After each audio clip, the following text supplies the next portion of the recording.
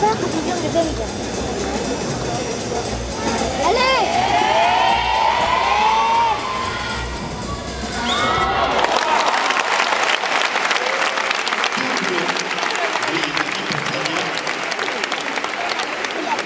Cette gymnaste russe est une euh, authentique spécialiste de sol.